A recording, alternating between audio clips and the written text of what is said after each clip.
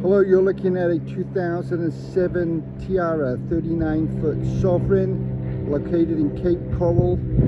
The boat is powered with twin Volvo D6 diesel motors, IPSB pods. It's in absolutely super condition, got a lovely interior. This boat has brand spanking new out of the box Garmin electronic package got all new air conditioning units. It's got a lovely interior. The exterior has got a shine to it. All the uh, exterior upholstery is in good condition. This will be a very nice boat to own. My name's Wayne. My contact information is 239-707-9422. This is a 2007 Tiara 39 foot Sovran.